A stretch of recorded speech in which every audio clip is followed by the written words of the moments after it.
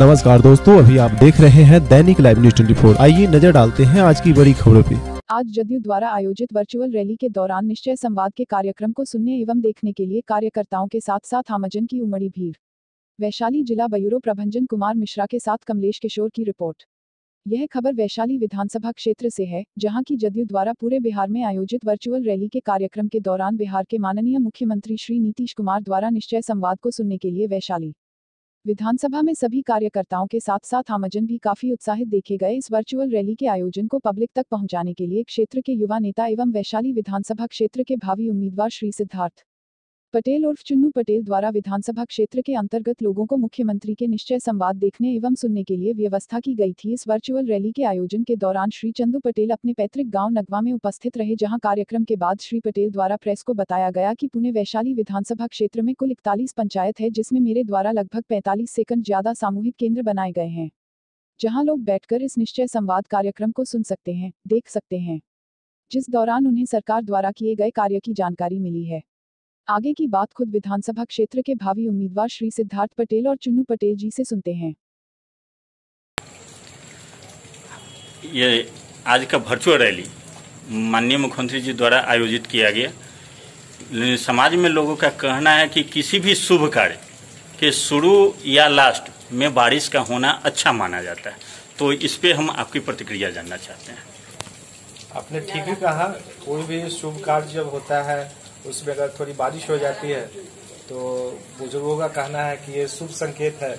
आने वाला समय अच्छा होगा, जनता दल यू के ये आप युवा के अच्छे नेता, अभी युवाओं में पहचान अच्छा बना है।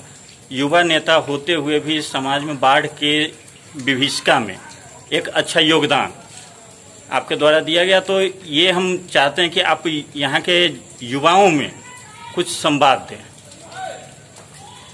देखिए देखिए, अभी कोरोना का पीरियड चल रहा है और उसी क्रम में वैशाली विधानसभा के इकतालीस पंचायतों में से सत्रह, अठारह पंचायतों में बाढ़ आ गया।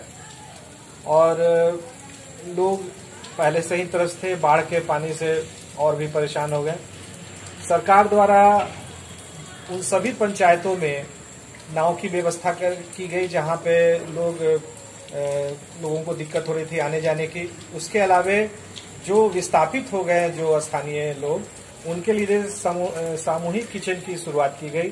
गाँव समाज के लोग जो जिनको दिक्कत थी, वहाँ सामूहिक किचन में जाके वो खाना खाते थे। ये व्यवस्था सरकार के द्वारा की गई। और हम लोग हम लोगों ने भी अपनी तरफ़ से हर संभव प्रयास किया कि कोई भी व्यक्ति छूट न जाए, उसको जो सरकारी सहायता है, उन तक पहुँच जाए।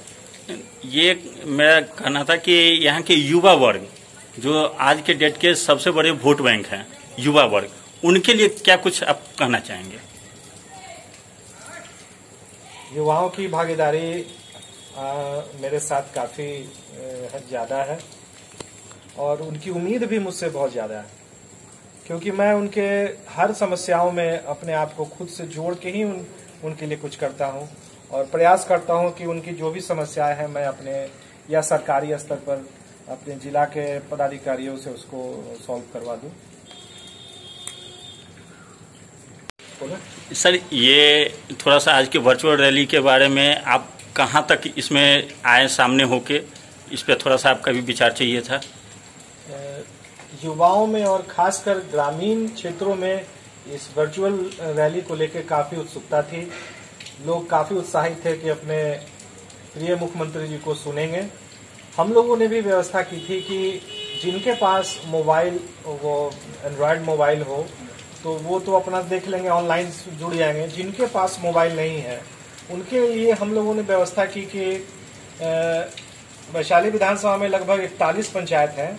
मैंने बयालीस तैतालीस जगहों पे, हर एक पंचायत में, कुछ पंचायतों में तो दो दो तीन तीन जगह भी हुए और एक दो तीन पंचायत ऐसे हैं जहाँ बाढ़ की वजह से या किन्हीं किन्हीं कारणों से नहीं हो सका।